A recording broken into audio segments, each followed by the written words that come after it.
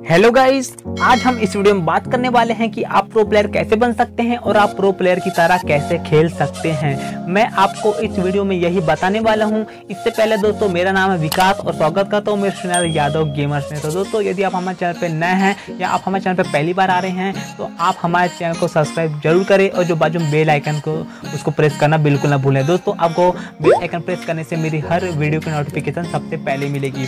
तो दोस्तों, यदि आप हमारे चैनल को सब्सक्राइब करके रखा है तो वीडियो को लाइक और शेयर करना बिल्कुल ना भूलें। दोस्तों, आप एक कमेंट हमारे वीडियो पे ज़रूर करें। हमें अच्छा लगता है और एक मोटिवेशन मिलता है। तो दोस्तों, चलिए हम बिना टाइम वेस्ट किए हुए वीडियो को स्टार्ट करते हैं और मैं आपको वहाँ पाँच टिप बताने वाला हूँ जिसको आप फॉलो करके आप प्रो प्लेयर की तरह खेल सकते हैं और आप प्रो प्लेयर बन सकते हैं। तो दोस्तों टिप नंबर वन है लिसन एनिमी फुट स्टेप जी हाँ दोस्तों एनिमी का फुट स्टेप दोस्तों, क्या होता है कि आपको यदि एनिमी का फुट स्टेप क्लियर सुनाई नहीं दे रहा है तो एनिमी आपको आकर मार सकता है। और यदि आप कहीं कैंपिंग कर रहे हैं और आपको पता ही नहीं कि एनिमी आ रहा है तो आप उसके लिए रेडी नहीं रहते और वहाँ एनिमी आपको मार देगा। तो दोस्तों, आपको मैं सजेस्ट करूँगा कि आप ईयरफोन लगाकर गेम खेलें। दोस्तों ईयरफोन लगाने से क्या होता है? जो एनिमी सुनाई देता है, जैसा आप इस वीडियो में देख सकते हैं। मैंने यहाँ पे ईयरफोन लगा के रखा था। तो जो उसका जो साउंड है, वह क्लियर सुनाई दे रहा था मुझे। उसका फुट स्टेप का तो वहाँ जैसे ही वहाँ पे सीढ़ियों से ऊपर आया, मैंने उसको मार दिया। तो दोस्तों, आपको यहाँ पर ईयरफोन लगा के गेम में ज़रूर खेलना है। वन की, और दूसरा टिप दोस्तों है नो स्किन जी हाँ दोस्तों गन की विदाउट स्किन रखकर आपको खेलना है। दोस्तों, आपको मैं इसके लिए कह रहा हूँ, क्योंकि दोस्तों, यदि आपके पास गन की स्किन अच्छी अच्छी गन की स्किन रहती है तो आपको उसकी आदत हो जाती है। इससे क्या होता है, किसी की डैमेज किसी का रेट ऑफ़ फायर किसी का रेंज किसी का एक्यूरेसी ये डबल रहती है, और किसी का मैगजीन ज़्यादा रहता है, इससे आपको उसकी आदत हो जाती है। तो आप यदि किसी बंदे को आप शूट करते हैं तो उसका डैमेज गन की स्किन के कारण ज़्यादा जाता है। तो दोस्तों, आपको बिना गन की स्किन के साथ खेलना है।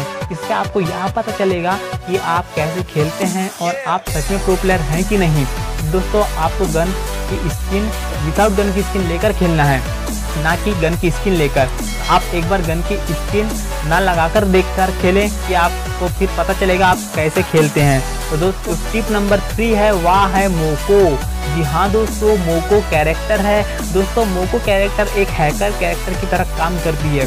दोस्तों, क्या होता है, आपने किसी एनिमी को डैमेज दिया तो जो मोको कैरेक्टर की जो एबिलिटी है, जो आपने आप स्किल स्लॉट में लगा के रखते हैं तो दोस्तों उससे आपको बंदे की लोकेशन पता होती है। जैसा आप बंदे को डैमेज दिए तो बंदे के एक सर के ऊपर एक एरो का निशान चलते हुए जाता है। इससे पता चलता है कि वह बंदा किधर जा रहा है। तो दोस्तों मैं आपको सजेस्ट करूँगा कि आप यहाँ पर यदि गेम खेलते समय आपने स्क्रीन स्लॉट पे आप मोको कैरेक्टर ज़रूर लगाएँ। इससे आपको बंदे की लोकेशन पता चल सकती है कि वहाँ कहाँ जा रहा है और आप उसको आसानी से मार सकते हैं। दोस्तों, बात रही अब नंबर फोर टिप की तो वह है इनेलर जी हाँ दोस्तों इनेलर का यूज़ बहुत ज़्यादा होता है। इनेलर का यूज़ दोस्तों, आपको यदि किसी एनिमल ने आपको डैमेज दिया तो आपके पास इतना टाइम नहीं रहता कि आप मेडिसिन मारें। तो दोस्तों, यदि आपके पास इनेलर रहता है तो आप इनेलर यूज़ करके आपकी जो एचपी और ई e बढ़ाकर उस बंदे को आप मार सकते हैं।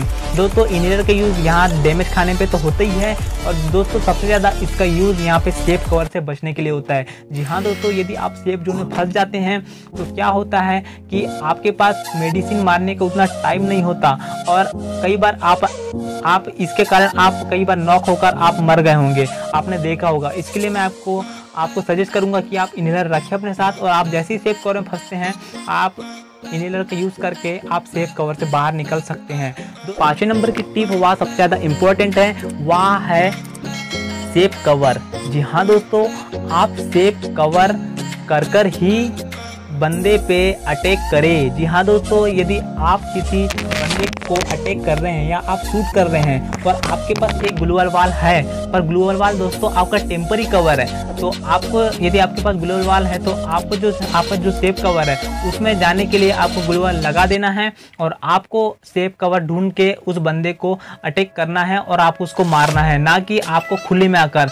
दोस्तों क्या होता है, कभी आप यहाँ उस बंदे को डैमेज देते हैं तो आप एक बंदे को खुले में देखकर आप उस पर अटैक करते हैं। लेकिन आप आजू बाजू नहीं देखते और आपके पास सेफ़ कवर नहीं रहता तो वहाँ एनिमी आपको मार देता है। इसके लिए दोस्तों, मैं आपको सजेस्ट करूँगा कि आप यदि किसी बंदे से फाइट लेते हैं तो सबसे पहले आपको यह देखना है कि आपके पास सेफ़ कवर कौन सा है, जो कि परमानेंट होना चाहिए, जो ना ग्लोबल वाल की तरह टूटने वाला नहीं होना चाहिए। दोस्तों ग्लोबल वाल क्या होता है कि बंदे, आगे वाले बंदे के पास एमओ ज़्यादा रहता है या उनके दो चार बंदे मिलकर उस ग्लोबल वाल पे शूट करते हैं तो वह ग्लोबल वाल जल्दी टूट जाता है। तो दोस्तों, आपको परमानेंट कवर ढूंढकर ही आपको एनिमी से फाइट लेना है। तो दोस्तों, यहाँ रही हमारी आज की पाँच टिप्स जिसको आप फॉलो करके आप प्रो प्लेयर बन सकते हैं। तो यदि आपको यह वीडियो अच्छा लगा होगा तो हमारे चैनल को सब्सक्राइब ज़रूर करें और हमारे इस वीडियो को लाइक करना बिल्कुल ना भूलें। दोस्तों, बहुत मेहनत लगती है, एक लाइक ज़रूर करें और आप हमें इंस्टाग्राम में फॉलो कर सकते हैं।